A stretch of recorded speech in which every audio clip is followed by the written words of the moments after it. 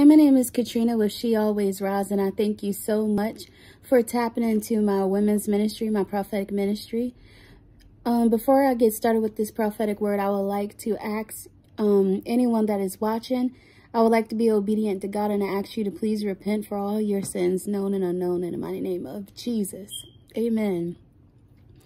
So God uh, wants to say to someone, do not feel abandoned. Do not feel abandoned. And the Bible verse that he, the Bible verse that he has given me to read to someone is Hebrews chapter 13, verse 5. Let your conduct be without covetousness. Be content with such things as you have.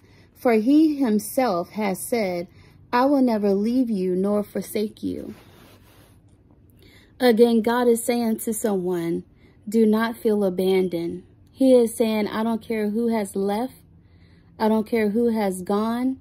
I am here with you. And I'm going to do all that I've said to you. Believe. Again, God is saying, do not feel abandoned. You're not alone.